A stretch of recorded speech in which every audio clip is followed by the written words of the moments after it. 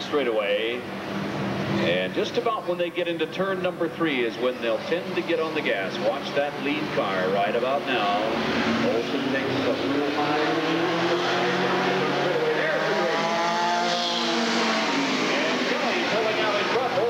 in right beside him. Graham in the 57 car caught on the high side. Walker down on the inside of Bluff. No racing room. Vic stays right with him.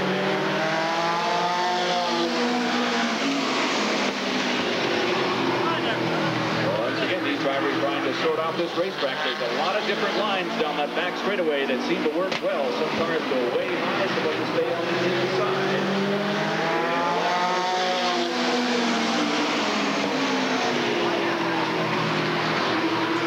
And Kelly in the 20 car has got it figured out so far. Randy Olson in 17 staying right with them.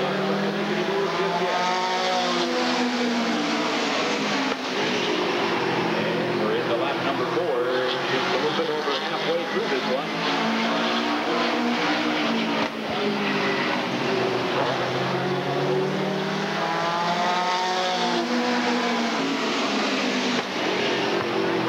Down the back straightaway, will be coming around for the start of lap number six. If anybody's got any tricks left in the bag, this is when they'll try to pull them out. One more time around as they cross the start finish line.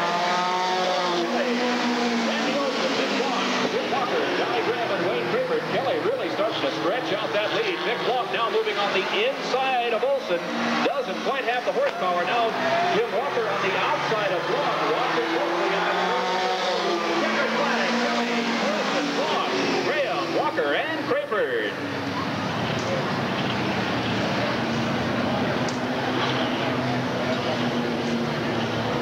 Chassis. And that V6 motor, Camaro style body, out of the car, Lauren Kelly.